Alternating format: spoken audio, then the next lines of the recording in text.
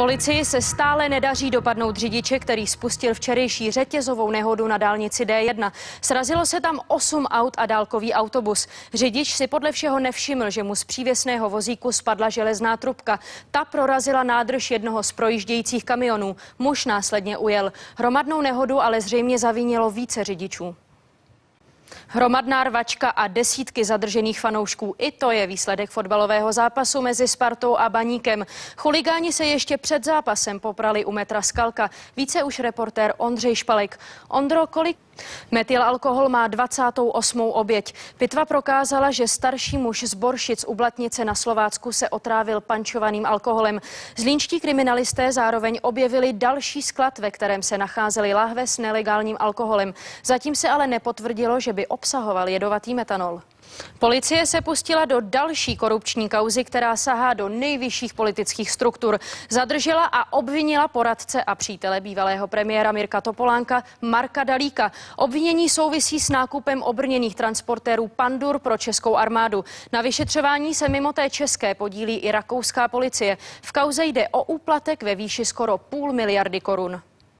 Už celkem pětkrát vynesly soudy verdikty nad vrcholnými manažery zkrachovalých fondů Trend a Mercia. Naposledy to bylo dnes odpoledne v Hradci Králové. Obžalovaní, kteří měli vytunelovat 1,4 miliardy korun, ale proti rozsudkům podali odvolání. Nejdelší soudní proces v novodobé české historii tak stále ještě nekončí. K mezinárodní vesmírné stanici ráno odstartovala první soukromá nákladní loď Dragon. Veze na ní skoro půl tuny materiálu. Operaci vůbec poprvé řídí pouze zaměstnanci firmy SpaceX, která loď vyrobila. V éře dobývání vesmíru se jedná o naprosto zásadní milník. Zoologická zahrada v Ústí nad Labem zažila velké stěhování. Do zimoviště musela přemístit aligátora, který tam žije už dlouhých 38 let. Z letního výběhu se mu ale evidentně nechtělo. Podívejte se.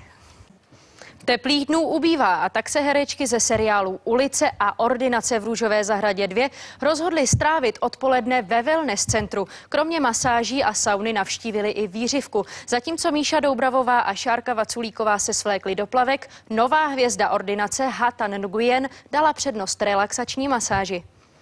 Americké popové hvězdě Lady Gaga se udělalo lehce řečeno špatně během koncertu ve Španělsku. Čtyřikrát na pódiu neudržela obsah svého žaludku. Přesto své vystoupení dokončila. Špatně se jí udělalo už v srpnu v Rumunsku. A jelikož mimo jiné i přibrala, novináři teď spekulují o tom, zda náhodou není těhotná.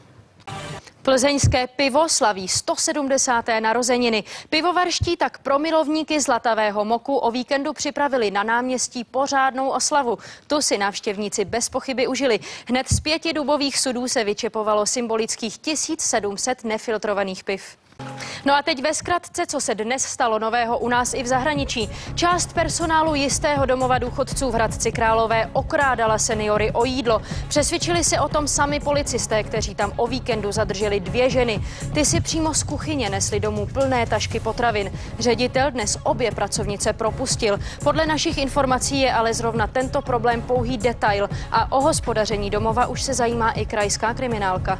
Reportérovi televize Nova se podařilo zjistit, kdo je muž, který se hrdině zastal lidí, proti kterým brutálně zakročili strážníci městské policie. Záběry z jejich zásahu v Praze na Andělu jsme vám pustili včera. Jde o Richarda Frištenského. Jeho předkem je legendární zápasník v řecko-římském zápase Gustav Frištenský.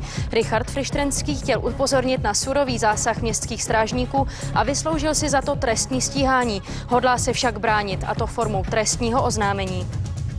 Dnes ráno se v Prostějově stala dopravní nehoda, při které auto vláčilo zaklíněnou ženu v podvozku. Vůz technických služeb tam při čištění srazil starší ženu na kole. Jeho řidiči pak táhl více než 110 metrů. 670-letá důchodkyně strávila nedobrovolně uvězněná v podvozku čistícího vozu skoro 40 minut, ale měla obrovské štěstí. Vážnou nehodu přežila.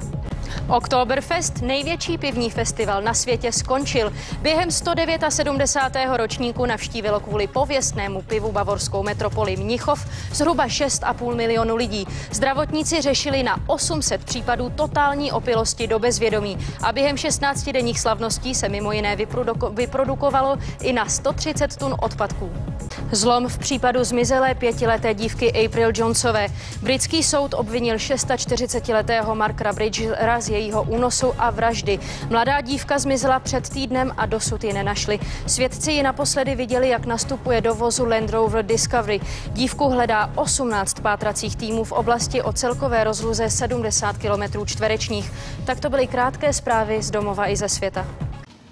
Nepokradeš. Sedmé přikázání z desatera není svaté mnoha lidem. Že ho ale bude porušovat jeptiška, to by asi nikdo nečekal. Údajnou řeholnici nachytala bezpečnostní kamera přímo při činu. A to bylo z dnešních nočních televizních novin všechno. Čeká vás ještě sport a počasí a zítra opět nashledanou. Dobrou noc.